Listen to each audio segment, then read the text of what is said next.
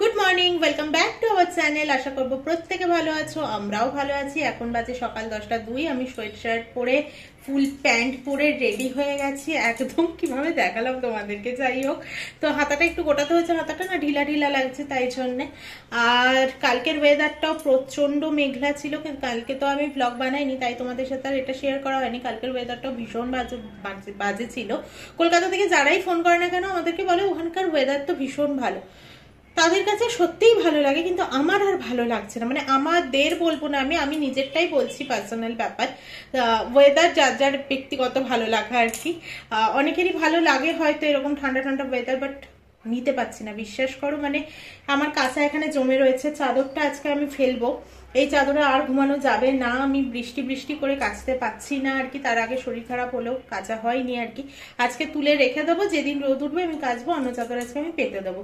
সকাল থেকে হয়ে গেছে বৃষ্টি। সকাল ছটায় একবার উঠেছিলাম, পাঁচটা আটান্নতে। এমনি নর্মালি ঘুমটা ভেঙে গেছিল তো উঠলাম। ওঠার পরে মানে তখন, ও উঠেছিল তখন। জানলা দিয়ে এইটুকু আলো আসছে মানে ওই স্ট্রিট লাইটগুলো জ্বাললে যেরকম আলো আসে ওই রকমই আলো আসছিল। তো পর্দাটা সরিয়ে দেখে নে আবহাওয়াটা দেখে মনে হচ্ছে তখন ভোর তিনটে, চারটে বাজে। তো কালকে তাও একটু দূরে জিনিসপত্র দেখা যাচ্ছিল। আজকে কিচ্ছু দেখা যাচ্ছে না দূরের। একটুখানি মানে যে বিটিএম লেকটা আমরা জানলা থেকে দেখতে পাই, সেটাও পর্যন্ত দেখা যাচ্ছে না এলাকার এরিয়াটা। দেখাচ্ছি তোমাদেরকে, জানি না ফোনের ক্যামেরায় কতটা আসবে। তো রেডি কেন হয়েছি বলো তো? যাব একটু ধোসা খেতে হালুয়াওয়ালাতে। সেদিন যা অর্ডার দিয়ে এলো, তাতে আর ভালোও লাগেনি আর হঠাৎ দেওয়ার ইচ্ছেটাও নেই। ও গেছে বাথরুমে, বেরোলে আমরা যাব হালুয়ালাতে সকালে উঠেছি অনেকক্ষণই, তাও সাড়ে আটটার দিকে আমি উঠেছি, ও আটটার দিকে উঠেছে। আমি সাড়ে আটটা না, আটটা চল্লিশে উঠেছি। তো ওই যে ছটার দিকে ঘুমটা ভেঙেছিল, আবার সেটা সাড়ে ছটা পৌনে সাতটার দিকে ঘুমিয়েছি, ব্যাস, ওই ঘুমটা লেগে গেছে আর কি। তো চলো তোমাদেরকে দেখাই একটু আবহাওয়াটা এত বাজে সকাল থেকে বৃষ্টি হচ্ছে, কালকে যদি বা বৃষ্টিটা খুব একটা হয়নি সন্ধ্যে থেকে নেমেছিল বৃষ্টিটা তো আজকে সারা দিন বৃষ্টি হবে দেখিয়েই দিয়েছে। এমন আবহাওয়া না মানে ভালো আছি আজকে হাসি মুখে বলতে পারছি কালকে বলতে পারব কিনা জানি না। এরকম একটা ওয়েদার যেটায় মাথা ধরে থাকে গা ম্যাচ ম্যাচ করে যে এই ওয়েদারটা কলকাতায় থাকলেও বর্ষাকালে তোমাদের যেরকমটা হয় আমাদের সারা বছর সেরকমই লেগে রয়েছে। হুম, যা তা ওয়েদার দিচ্ছে। মানে গরমকালে ওয়েদারটা সত্যি ভীষণ ভালো লাগে। গরমের সময় তোমরা যখন খুব গরম খুব গরম করেছ আমরা সেটা পাইনি এটা সত্যি কথা। কিন্তু একটা জায়গায় তো সবটা পাওয়া যাবে না এটাই হচ্ছে মুশকিল। তো চলো তোমাদেরকে দেখাই। ছাদগুলো দেখে আপাতত বুঝতেই পারছ যে বৃষ্টি হয়েছে। এই জানলা তো খোলা যায়ই না।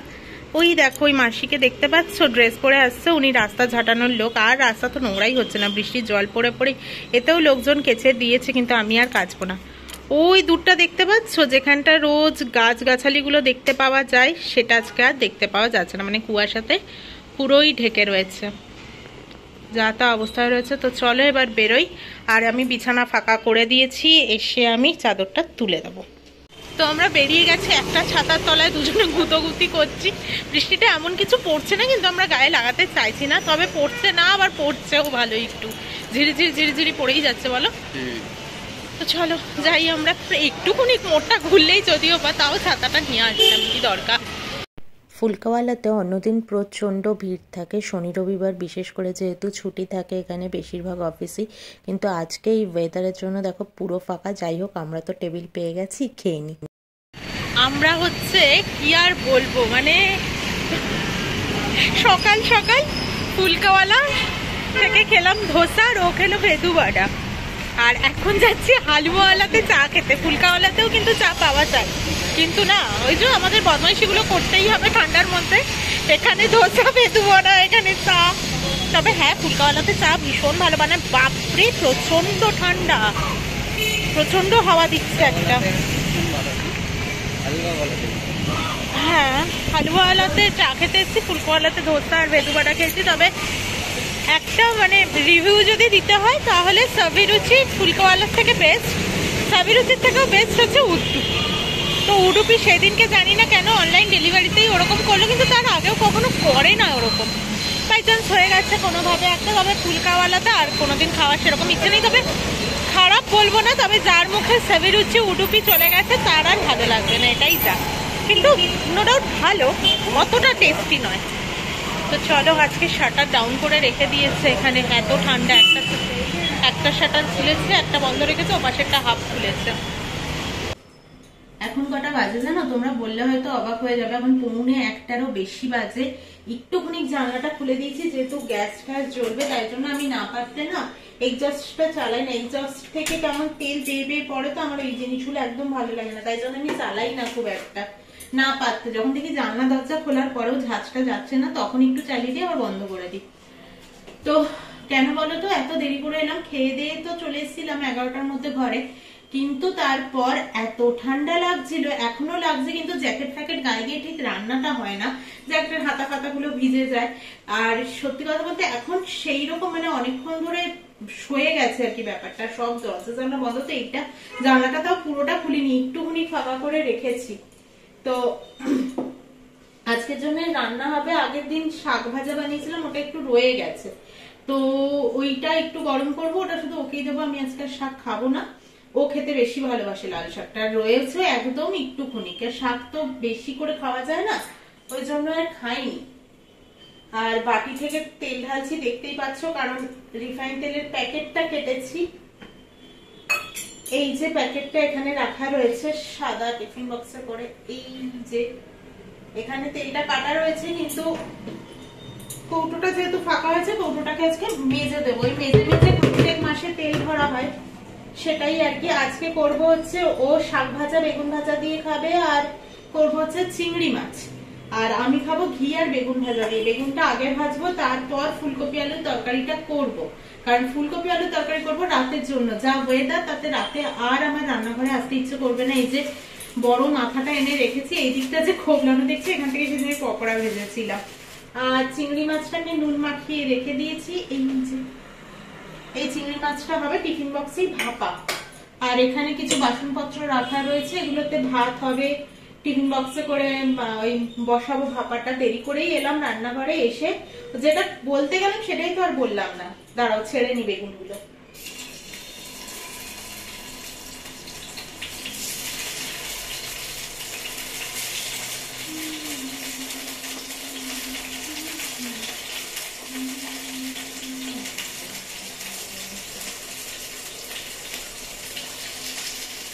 বেগুনটাকে অনেকক্ষণ ধরে আমি মাখিয়ে রেখে দিয়েছিলাম তো, দেখো জল বেরিয়ে গেছে পুরো।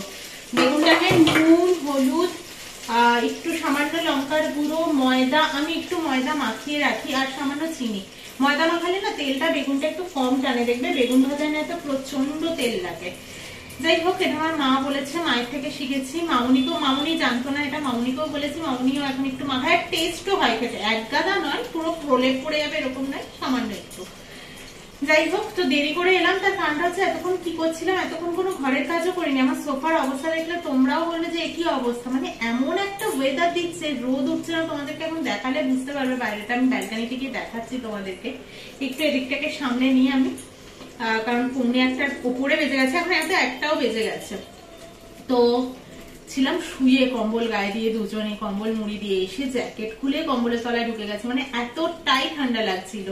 তাই ভাবছিলাম যারা বাইরে থাকে ইউএসএ সুইজারল্যান্ড এইসব মানে তাদের অবস্থাটা কি হয় ঠান্ডায়? মানে আমি এইটুকু ঠান্ডাতেই কাবু হয়ে যাচ্ছি। কলকাতায় তো দেখছি সাতাশ ডিগ্রি, এখানে কুড়িতে নেমে গেছে টেম্পারেচার আর সেটা ফিলস লাইক আর কুড়ি মনে হচ্ছে না, আমার মনে হচ্ছে আঠেরো উনিশ। যাই হোক, বেগুনটা ভাজা হতে থাকুক, আমি এখানে ফুলকপিটা কেটে নিই তোমাদেরকে বললামই ফুলকপিটা কাটবো। তো ফুলকপিটা এতটাই বড় যে প্যাকেটটা থেকে আমি আর বার করলাম না। ওখান থেকে কয়েকটা ফুল ছিঁড়ে নিলাম, যে কটা আমার লাগবে বলে মনে হলো। আর আলু বিশেষ একটা দেবো না, যেহেতু ও ভালোবাসে না, একটাই আলু দেবো। ছোট ছোট করে ছ টুকরো হবে, ওতেই যথেষ্ট। বেগুন ভাজাটা আবার পুড়ে না যায়, সেটাও দেখতে হচ্ছে। চারদিকে দেখতে হচ্ছে, বেলা করে রান্না করতে আসলে যা হয় আর কি। তো ফুলকপিটাকে এবার ভাব দিয়ে নিয়ে বেগুন ভাজাটা হয়ে গেছে, এই যে তুলে নিচ্ছি এই দেখো, একটু হালকা হালকা প্রলেপ পরে ময়দা এই যে, যেরকম এগুলো দেখছ রকম পরে আর আর এখানে আমি আলু ফুলকপিটা ভাপাতে বসিয়েছি। এই শীতের কপি না, একটু ভাত ছাড়া খাওয়া যায় না। একটা হালকা গন্ধও থাকে, সেটাও বেরিয়ে যায়, পোকামাকড় থাকলে সেটাও বেরিয়ে যায়। তো দিলাম বন্ধ করে। আমি নিরামিষ তরকারি বানাবো, একটু হিং ফোড়ন দিয়ে যেরকম বানাই আর কি, সেরকমই বানাবো। বেগুন ভাজার তাও তেল কম দিলেও একটু লাগে। আর এখানে আমি করে নিয়েছি দাঁড়া দেখাই। এখানে করে নিয়েছি টমেটো, কাঁচা লঙ্কা আর আদা। এটাও নিয়েছি ফুলকপির জন্য। এই জল থেকে এখন ডাইরেক্ট দেবো তো, তেলের মধ্যে ছ্যাঁচা ছ্যাঁচা করে পুরো ছিটে আসবে আমার গায়ে। কি আর করা যাবে তাতেও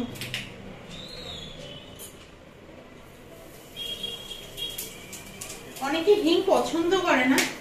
আমি হিং খুব ভালোবাসি লাকিলি রোমিও ভালোবাসে না হলে আর দেওয়া যেত না। আর ধনে পাতাটাও দুজনেই ভালোবাসি। আমার ধনে পাতা, টমেটো একটু রান্নায় হলে ব্যাস, আর কিছু চাই না। আমার খুব ভালো লাগে।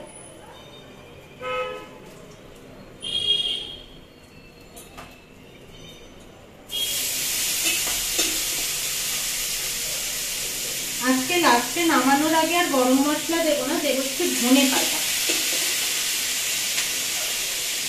ঘরে অনেক ধনে পাতা আছে তো। দশ টাকায় এমন ধনে পাতা দেবে। আর পাঁচ টাকার তো দিতেই পারে না মানে দেয় না এখানে। এই এক অসুবিধা এখানে।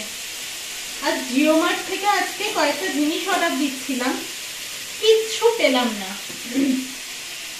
পাওয়ার মধ্যে কি পেলাম না? গাটি কচু আর কাঁচা পেঁপে। ওই দুটো দিয়ে কি করব? আমি মুসাম্বি ঢ্যাঁড়স, পটল, এগুলো একটু অর্ডার দিচ্ছিলাম যে এরকম ওয়েদার বিকেলে যদি বেরোতে না পারি মানে পুজো দিতে যদি যেতে না পারি, মন্দিরটায় যদি যেতে না পারি, তাহলে তো আর বাজার যাওয়া হবে না।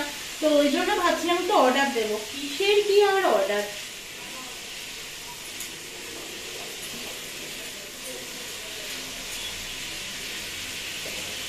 আলু ফুলকপিটাকে ভাজা বসিয়ে দিয়েছি, এবার চিংড়ি মাছের জন্য আমি মশলাটা করে নেব। ভাজা করব, তারপরে মশলা পাতিগুলো দিয়ে কষাবো ফুলকপিটাকে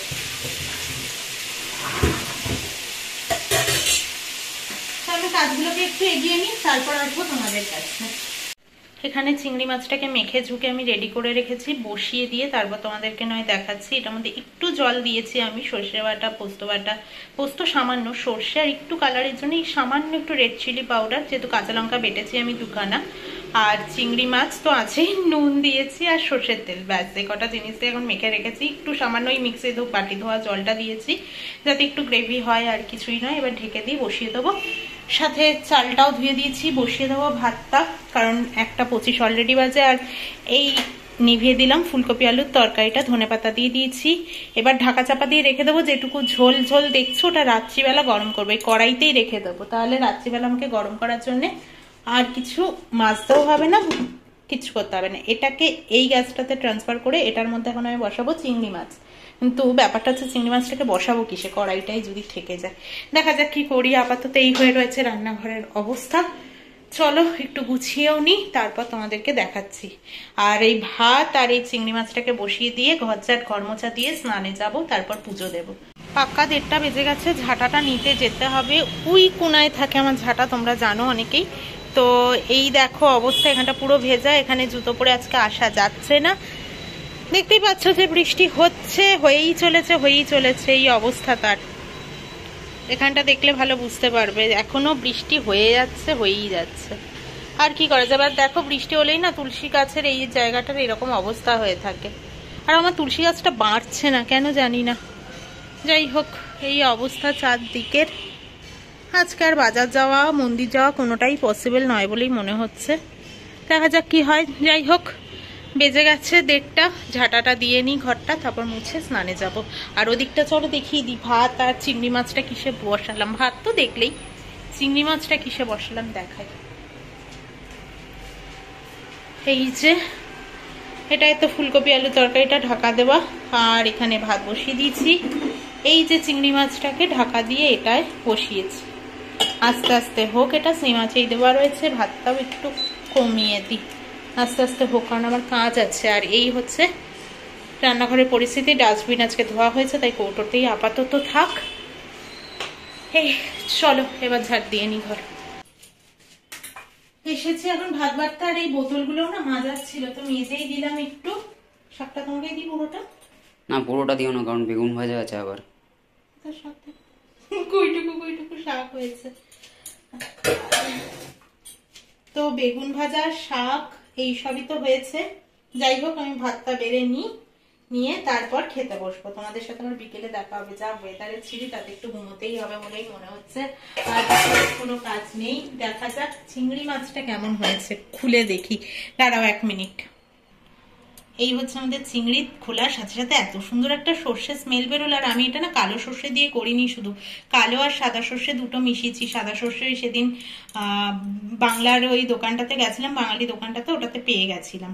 ওই আর কি মাই চিকেন অ্যান্ড মোড়ে তো ওখান থেকে দুটো মিলিয়ে নিয়ে এসেছি। কালো সর্ষে অনেকে বলে বেশি গ্যাস ট্যাস করে, ওই জন্য সাদা সর্ষে মিলিয়ে দিয়েছি। দেখা যাক খেতে কেমন হয়েছে, খেয়ে দিয়ে বলছি। তো চলো খেতে বসি। দুপুরে ঘুমাইনি আসলে মার ছিল আজকে, ডাক্তার দেখাতে যাওয়া। মায়ের হাতে ব্যথা নার্ভের থেকে। তোমরা অনেকেই জানো, আগে আমি থাকতে আজি করে নিয়ে যেতাম। তারপর আমি আসার পরে পিসির মেয়ে দিদি নিয়ে যায়। তো এবার ওইসব নিয়েই আজকে একটু ছিলাম। আর ডাক্তারও খুব একটা ভালো কিছু বলেনি, তাই জন্য একটু টেনশনই হচ্ছে। যাই হোক, আর ওইসব বলে লাভ নেই। আর এখন বসেছি চা, আদা, তেজপাতা সমস্ত কিছু দিয়ে, কারণ একটু ওয়েদারটা খারাপ তো, এরকম চা খেলে মনে হবে ভালো হবে। তো একটু ফুটতে দিলাম তোমাদেরকে দেখাই। বাইরের অবস্থা এখনও ঠিক নেই। মানে আজকে যে আমরা একটু বাজার যাব বা এইসব ভেবেছিলাম এসব আর হবে না আজকে।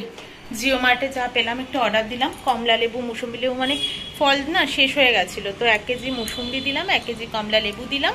আর লেবুটাই আমরা দুজনেই খেতে ভীষণই ভালোবাসি। আর ওর মুসম্বি খেতে ভীষণই ভালো লাগে, আর মুসম্বি লেবু খাওয়া ভালো। তো এখনও কন্টিনিউ বৃষ্টি হয়ে যাচ্ছে, দাঁড়াও দেখায় দেখো, ওই ছাদটা দেখে বুঝতেই তো পারছ যে পুরো ভেজা। পুরো বৃষ্টি এখনও হয়ে যাচ্ছে বলে এরকম ওয়েদারে একদম কি ভালো লাগে? কিছুই ভালো লাগছে না। আর বিশ্বাস করো দরজা মজা চলে আসছে। হাওয়াতে কি করব আর দাঁড়িয়ে এখানেই বা। তো চলো, আজকের ব্লগটা এখানেই শেষ করে দিচ্ছি। এক্ষুনি চা খাব। চা খেতে খেতেই না আজকের ব্লগটা শেষ হচ্ছে। যদিও এখনও হয়নি খেতে খেতে, আর কি বলব। তো আজকে ব্লগটা এখানেই শেষ করে দিচ্ছি। কালকে আবারও আসব একটা নতুন ব্লগের সাথে। আশা করি তোমাদের কিছু অন্তত ভালো লাগবে। আর ভালো লেগে থাকলে, যদি পাশে থাকতে চাও, যদি নতুন বন্ধু হয়ে থাকো, তাহলে প্লিজ সাবস্ক্রাইব করে পাশে থেকো। লাইক করে শেয়ার করো কমেন্ট করে জানিও। কেমন লাগল? তোমাদের সত্যি কমেন্টগুলো আমার কাছে প্রচণ্ড মূল্যবান, প্রচণ্ড। কারণ এই কমেন্টগুলোই প্রত্যেক দিন আমাকে এগিয়ে যেতে অনেক অনেক সাহস যোগায়। কি আর বলবে? দরজা আমাকে এখানে দাঁড়াতে দেবে না। তো চলো আজকের মতো টাটা। আর যারা অলরেডি আমার সাথে আছে, তাদেরকে বলব অসংখ্য অসংখ্য ভালোবাসা, অসংখ্য ধন্যবাদ।